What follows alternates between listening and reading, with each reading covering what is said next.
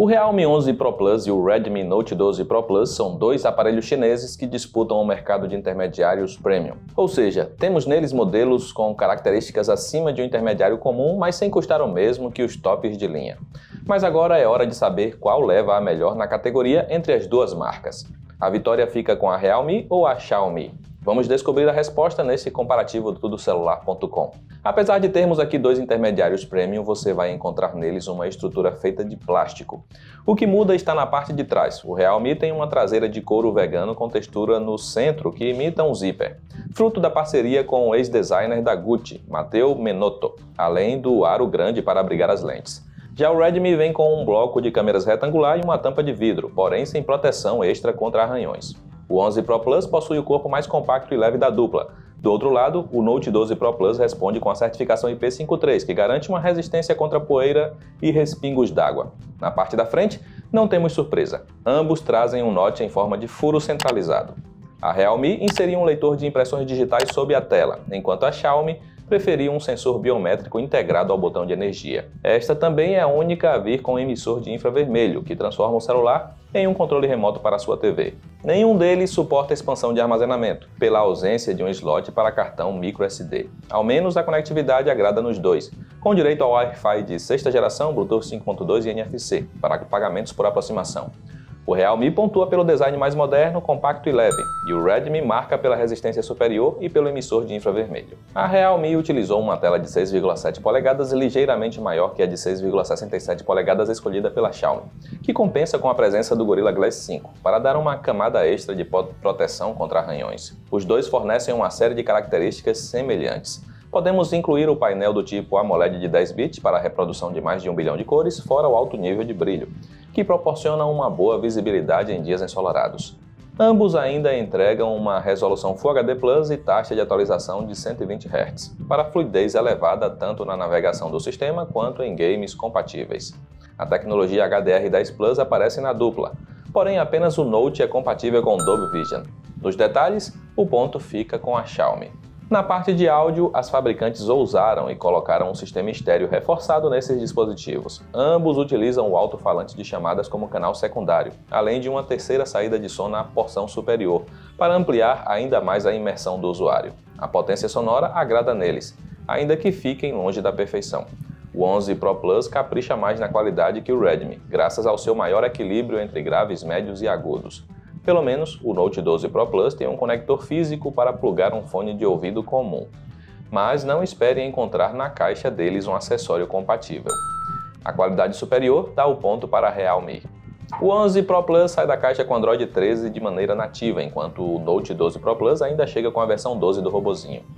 Essas fabricantes prometem duas atualizações de software para esses modelos, o que garante uma longevidade superior para a Realme. A taxa de atualização de 120 Hz ajuda para que as duas interfaces tenham boa fluidez de navegação. A tecnologia 5G também está presente nos dois aparelhos, para permitir uma rede móvel mais veloz. O Realme se destaca por oferecer atalhos na barra lateral inteligente e ao lado do sensor biométrico, que tem integrado um medidor de batimentos cardíacos. Por sua vez, o Redmi também possui uma barra lateral para chamar de sua, além da ferramenta de jogos e das várias opções de customização.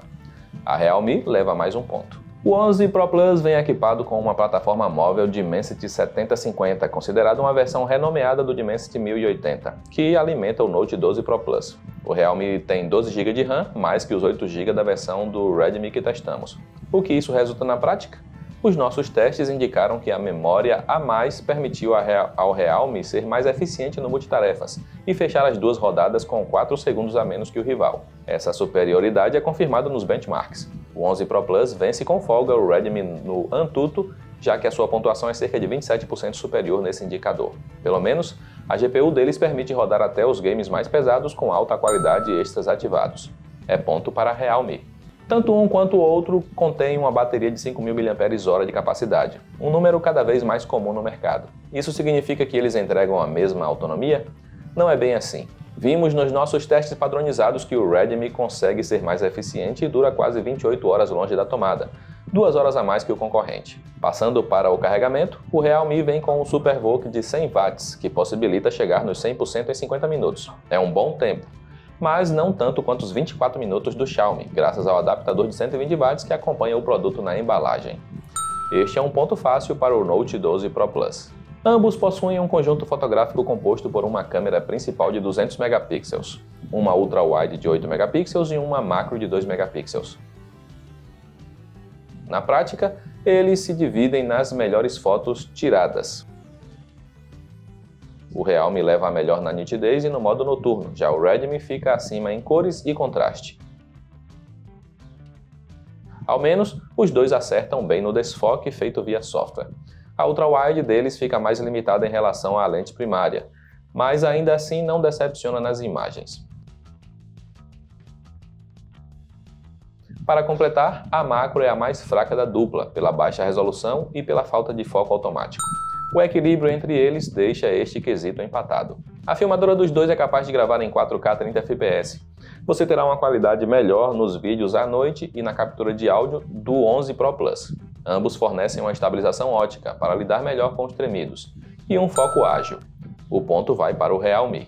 O 11 Pro Plus vem com uma câmera frontal de 32 megapixels, enquanto o Note 12 Pro Plus traz sensor de 16 megapixels. O Realme faz selfies mais nítidas, especialmente à noite. Já o Redmi acerta mais no contraste que o rival durante o dia. Pelo menos o modo retrato deles não estoura o fundo e as filmagens de frente se limitam à resolução Full HD.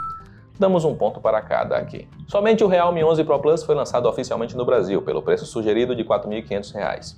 No cenário atual, ele pode ser encontrado na faixa de R$ 2.600 ainda acima dos 2.100 cobrados pelo Redmi Note 12 Pro Plus, por meio de importadores. Dessa maneira, a Xiaomi fecha o confronto com o último ponto. Tivemos um embate equilibrado entre as fabricantes chinesas. Apesar de a Realme ter ficado na frente, a Xiaomi terminou colada no placar. Isso significa que a sua escolha vai depender do que for prioritário para você. O Realme 11 Pro Plus oferece o design mais moderno, compacto e leve, o som com maior qualidade, o sistema com longevidade superior e o melhor desempenho multitarefas. A câmera dele tira fotos com maior nitidez e melhor modo noturno, além dos vídeos e das selfies com qualidade superior à noite. Do outro lado, o Redmi Note 12 Pro Plus tem o corpo com resistência a poeira e respingos, traz uma tela com suporte Dolby Vision, oferece a melhor autonomia e o menor tempo de recarga da bateria, e registra imagens, tanto na traseira quanto em selfies, com melhores cores e contraste.